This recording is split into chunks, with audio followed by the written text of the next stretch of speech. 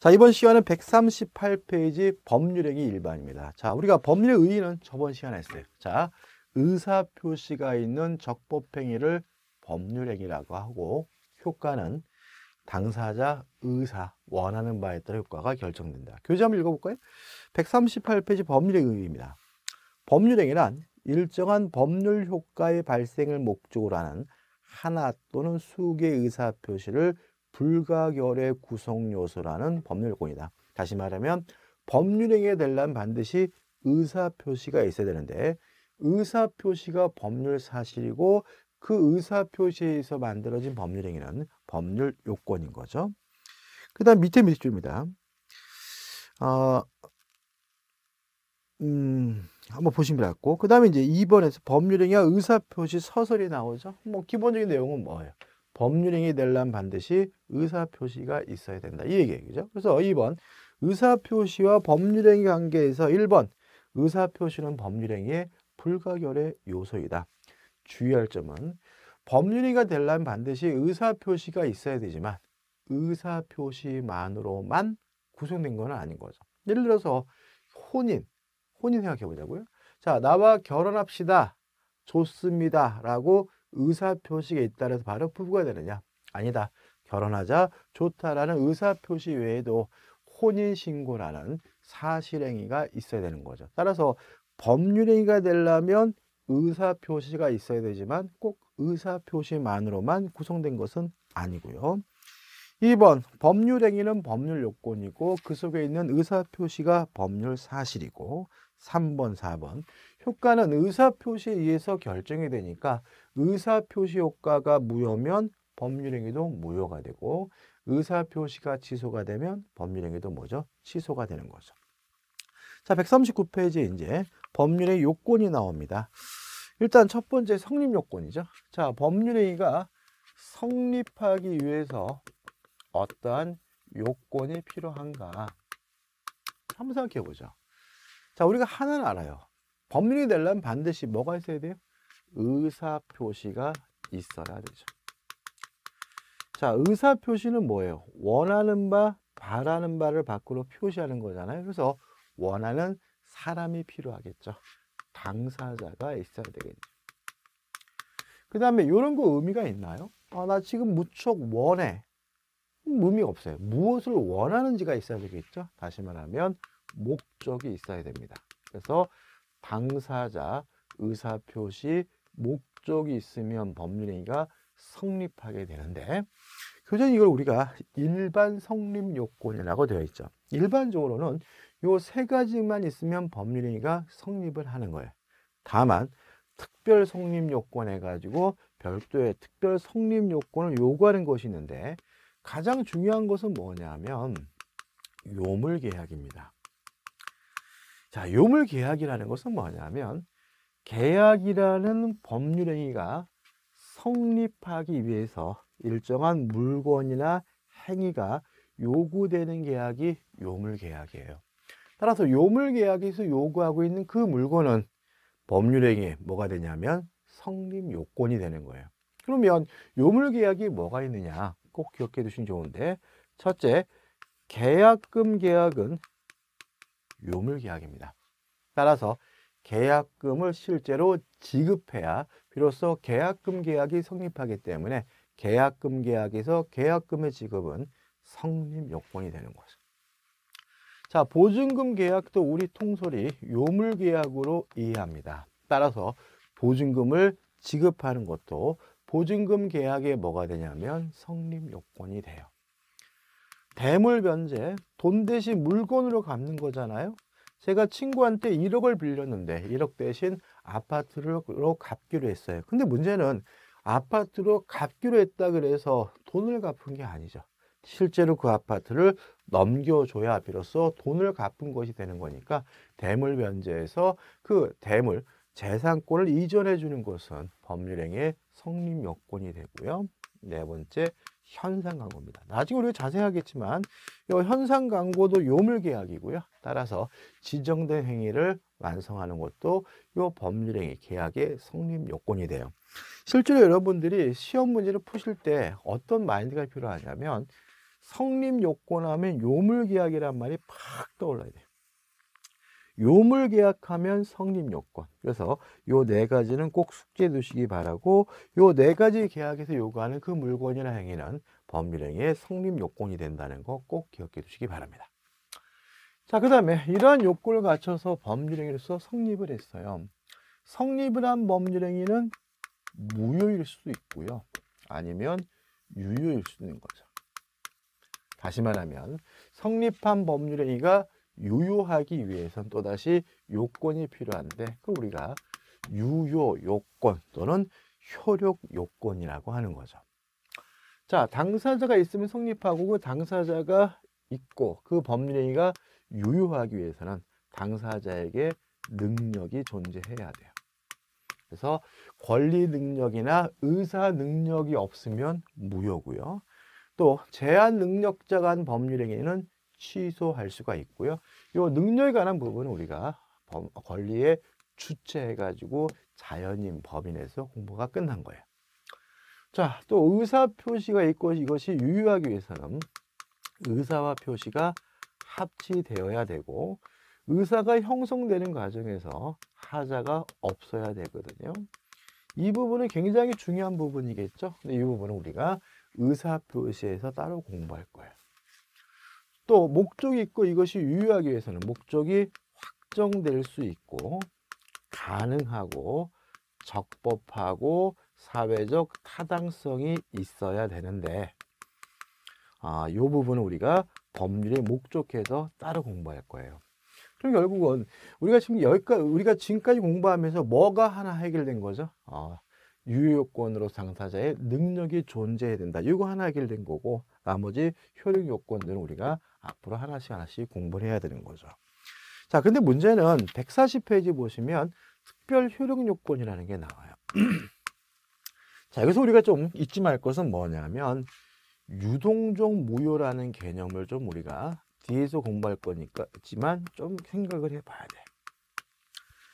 자, 유동적 무효라는 것은 뭐냐면 지금은 무효지만 일정한 요건을 갖추면 유효로 뒤바뀔 가능성이 있는 이 무효를 우리가 유동적 무효라고 해요. 따라서 유동적 무효에서 요구하고 있는 그 요건들은 유효하기 위한 요건 뭐가 되는 거죠? 효력 요건이 되는 거죠. 그래서 여러분 수험적으로 성립 요건 하면 요물 계약이 떠오르야 되는 것처럼 유효 요건, 효력 요건 하면 유동적 무효가 떠올라야 되거든요. 그러면 우리가 앞으로 배울 유동적 무효가 뭐가 있느냐? 음, 토지거래 허가죠. 토지거래 허가 구역 내에서 거래를 하면 일단은 무효인데 나중에 허가를 받은 유효로 뒤바뀌니까 유동적 무효고요. 토지거래 허가 지역 내에서 토지거래 허가는 뭐가 되는 거죠? 유효 요건이 되는 거죠. 두 번째 정지 조건이죠. 정지 조건의 성취입니다. 조금 뒷부분이 나오는 부분 은 앞에서 하기 때문에 어려울 수가 있는데 정지 조건이라는 것은 지금은 효과가 없지만 조건이 성취가 되면 유효로 뒤바뀔 가능성이 있는 조건 우리가 정지 조건이라고 하고요. 따라서 정지 조건의 성취도 뭐가 되는 거죠? 유효 요건이 되는 거죠. 세 번째 시기의 도래요. 자, 임대차 계약을 하면서 예를 들어서 어, 오늘 내년 1월 1일부터 12월 31일까지다. 그러면 1월 1일이 도래하게 되면 임대차 계약 효과가 생기니까 이거 우리가 시기라고 하거든요. 현재 지금 12월 달이거든요. 그럼 현재는 무효예요. 그런데 1월 1일이 도래하면 비로소 효과가 생기는 것이니까 요 시기도 유동적 무효고 시기의 도래도 뭐가 되는 거죠? 유효 요건이 되는 거죠. 뭐 몇 가지 더 있기는 한데 우리가 그건 나중에 공부할 거고요. 일단은 유효 요건 하면 유동적 무효, 유동적 무효에서 요 세 가지를 좀 생각해 보셨으면 좋을 것 같아요. 자, 이제 140페이지에 이제 제2절 법률행위의 종류로 갑니다. 자, 법률행위가 되려면 반드시 뭐가 있어야 되냐면 의사표시가 있어야 되잖아요. 그죠? 그러면 의사표시가 있으면 법률행위니까 의사표시가 있기만 하다면 하나가 있는 것도 법률행위고요. 의사표시가 두 개 있는 것도 법률행위죠. 자, 의사표시가 하나만으로 성립하는 법률행위를 우리가 단독행위라고 하고요. 의사표시가 두 개 있어야 성립하는 법률행위를 우리가 계약이라고 해요. 무슨 말이냐? 자, 이런 얘기예요. 갑이 을에게 일정한 의사를 표시했어요. 하나죠. 요것만으로 성립한다면 그러한 법률행위는 우리가 단독행위라고 하고요. 을이갑에게 두 번째 의사를 표시했어요. 요게 있어야 성립한다면 요거 우리가 계약이라고 하는데 두 번째 의사 표시가 뭐냐면 승낙이거든요. 그럼 결국은 단독행위는 의사 표시가 하나만으로 이루어진다는 말은 승낙을 받을 필요가 없다는 얘기죠. 단독행위란 승낙을 얻을 필요가 없이 일방적으로 하는 법률행위를 우리가 단독행위라고 하는 거죠. 자, 계약은 두 번째 의사표시 승낙이 있어야 성립하는 거잖아요. 따라서 계약이란 승낙을 얻어야지만 쌍방 간의 의사의 합치가 있어야지만 성립하는 법률행위를 우리가 계약이라고 하는 거죠. 이해되시나요? 여기서 가끔 시험 문제 나옵니다. 계약과 단독행위를 구별하라는 문제가 나오는데 참 이상하게도 뭔가를 외워서 문제를 풀면은 틀리게 세팅이 돼요. 그래서 결국은 이 부분은 뭔가 외운 것을 상기하는 것이 아니라 다음 중 계약인 것을 물어보면 다섯 개 지문 중에서 승낙을 얻어야 하는 것을 찾으면 되는 거고요. 다음 중 단독행인 것을 이렇게 물어보면 다섯 개의 지문 중에서 승낙받을 필요 없이 일방적으로 하는 것을 찾으면 되는 거죠. 여러분 따로 기억할 것은 뭐냐면 증여가 계약이라는 건 좀 따로 기억해 두시기 바랍니다. 증여는 뭐예요? 계약이에요. 에이, 나 증여가 계약인지 아는데 아는 게 아닌 거죠. 예를 들어서 이런 의미가 됩니다. 자, 증여가 계약이라는 말은 승낙이 있어야지만 성립한다는 얘기잖아요. 그래서 야, 내가 제 친구한테 야마 너 힘드냐? 내가 너한테 10억 줄게. 그랬더니 그 친구가 안 받아 짜자. 그러면 못 주는 거다. 증여가 법적으로 계약이라는 말은 상대방으로부터 승낙을 얻어야지만 성립한다는 의미가 된다는 거죠. 그래서 우리가 증여는 계약이 왜냐하면 꽁꼬로 주는 거니까 왠지 일방적으로 줄 수 있을 거라는 착각을 일으킬 수가 있기 때문에 증여가 계약이라는 건 따로 기억해 두시고 나머지 것들은 승낙을 얻어야 성립하는 것은 계약 승낙 얻을 필요 없이 일방적으로 하는 것은 뭐예요? 단독행위 이렇게 기억하자고요. 자 교재 보시면 단독행위가 두 가지로 나뉘어요. 상대방 있는 단독행위. 그죠? 그 다음에 상대방 없는 단독행위. 이렇게. 자, 한번 생각해 보세요. 제가요, 친구한테 300만 원을 빌려줘서 300만 원을 달라고 요구할 수 있는 채권이 있는 상태예요. 근데 그 친구가 어렵대요. 그래서 제가 그 채권을 포기하려고 해요. 물론 상대방으로부터 동의나 승낙을 받을 필요 없이 일방적으로 하는 것이니까 채권의 포기는 단독행인 거죠.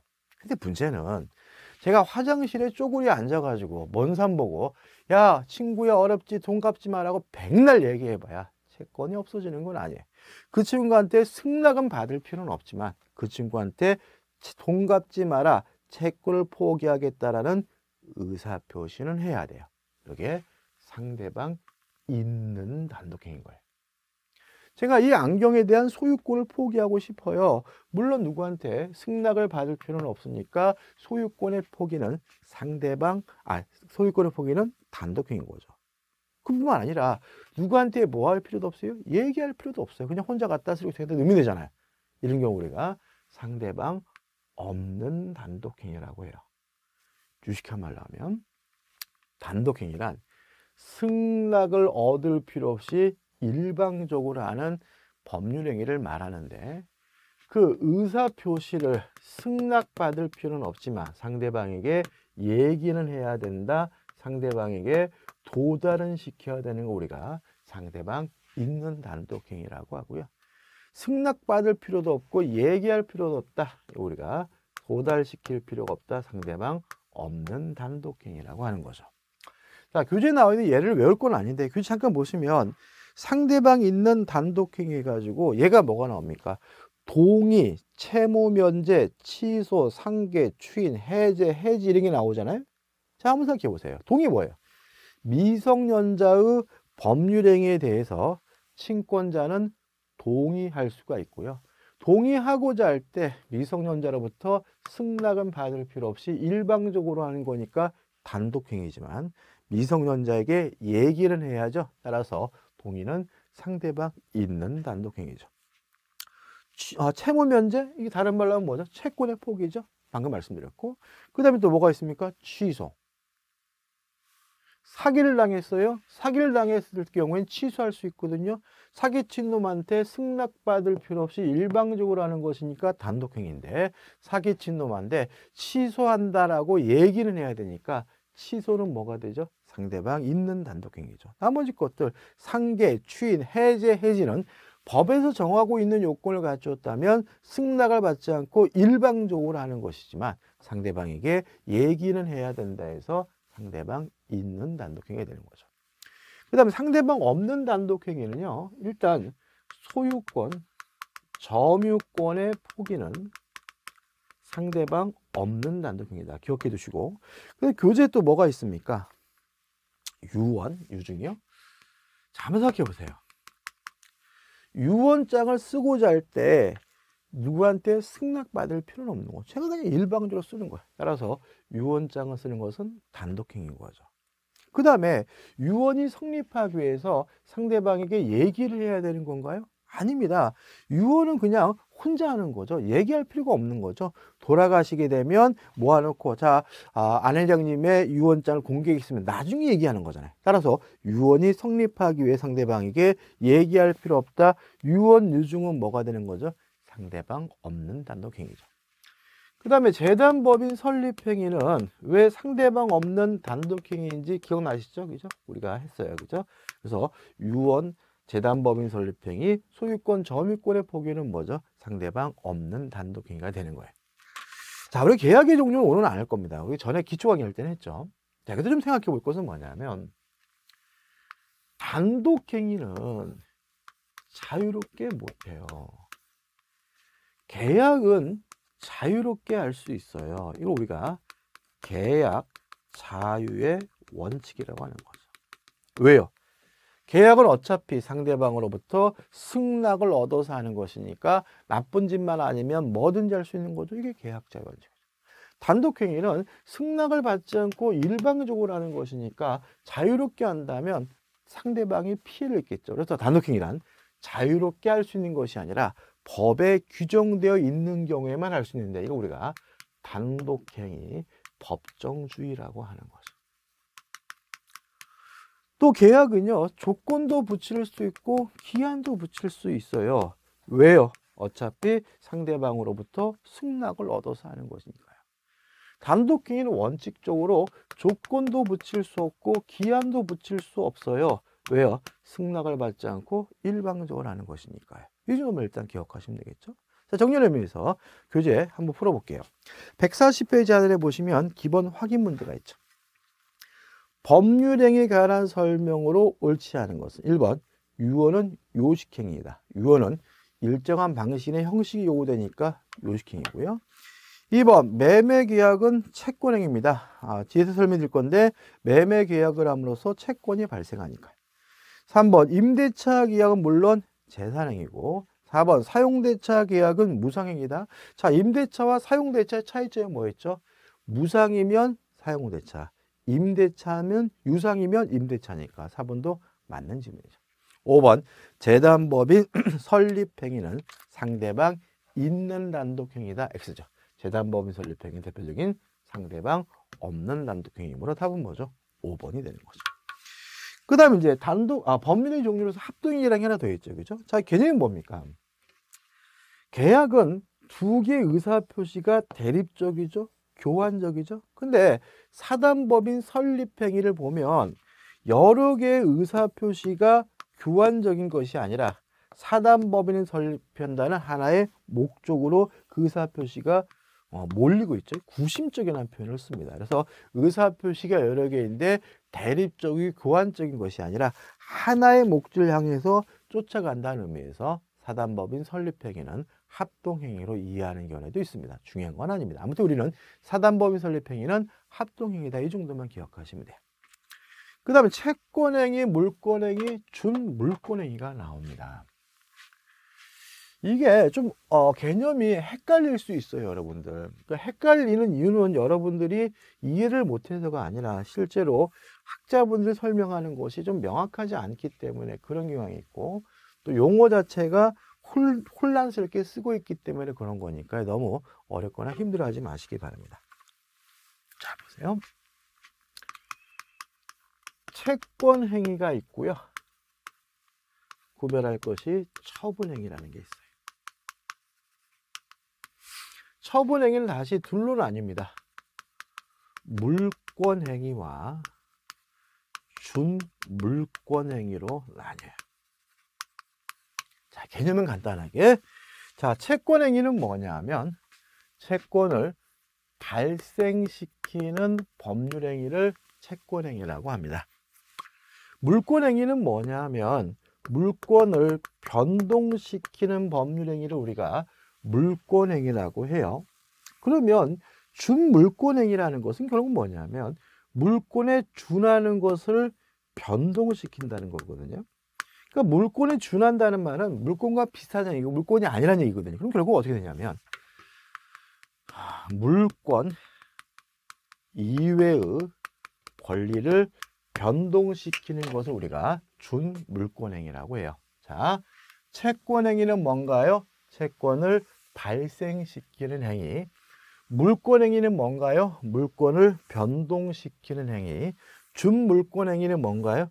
물권 이외의 권리를 변동시키는 행위를 우리가 준물권행위라고 한다. 그죠? 음, 어렵게 생각하지 마시고 제가 설명드린 예만 좀 이해하시면 돼요. 자, 보세요. 자, 갑이 소유하고 있는 부동산에 대해서 을이 만나서 매매 계약을 했습니다. 그러면 갑은 을에게 매매 대금을 달라고 요구할 수 있는 채권이 생기겠죠. 을도 갑에게 건물을 부동산을 넘겨달라고 요구할 수 있는 뭐가 있어요? 채권이 생기겠죠.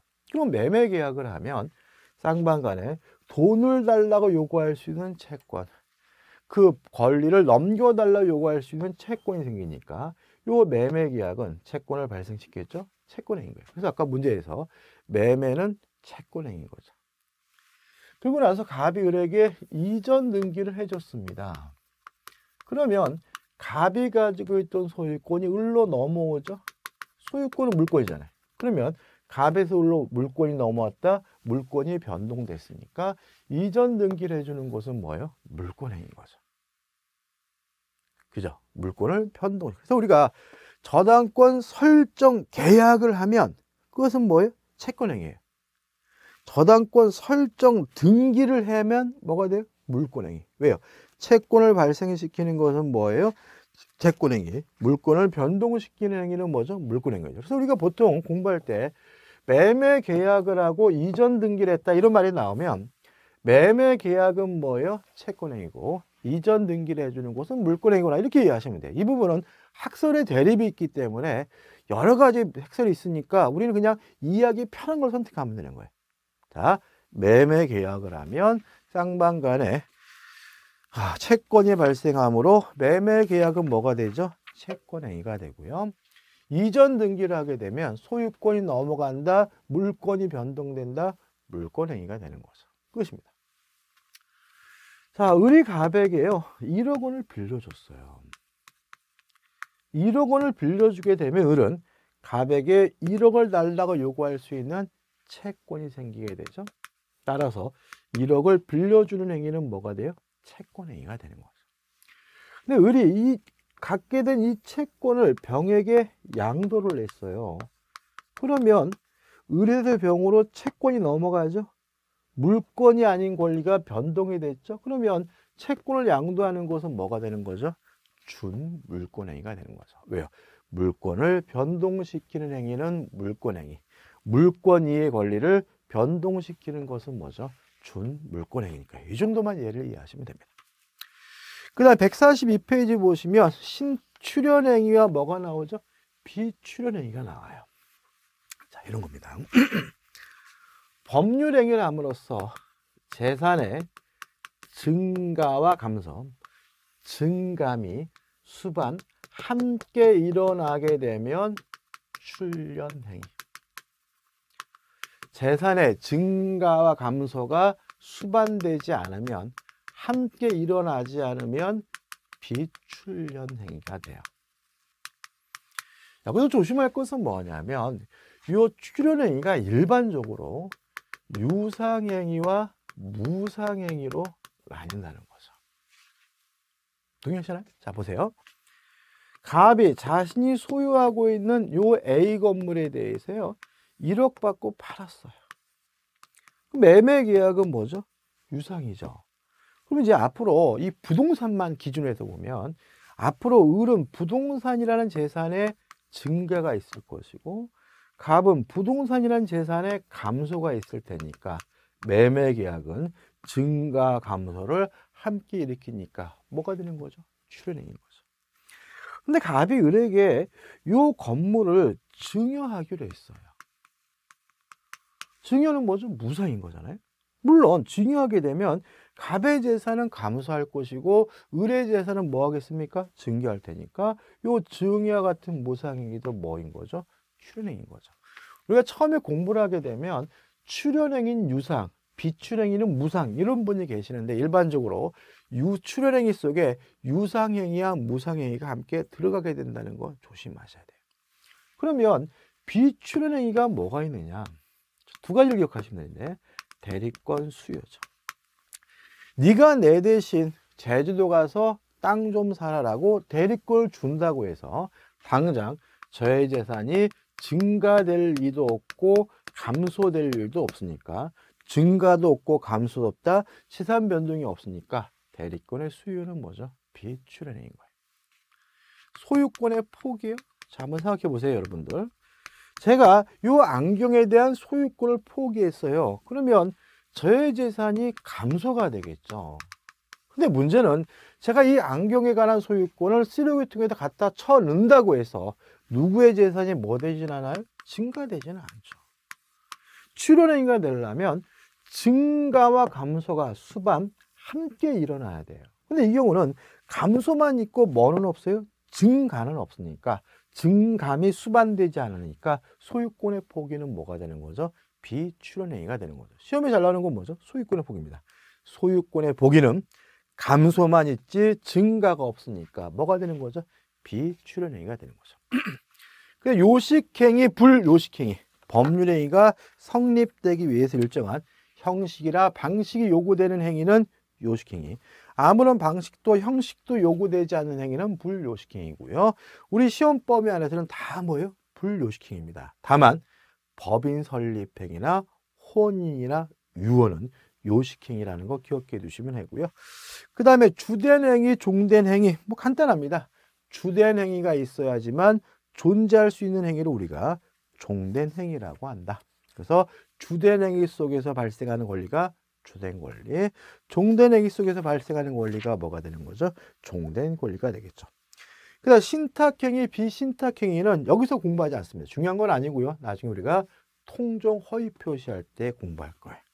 그럼 이제 우리가 어디 가야 되냐면 144페이지에 법률의 목적에서 목적에 관한 유효권을 갈 텐데 그거는 다음 시간에 이어서 보도록 하겠습니다.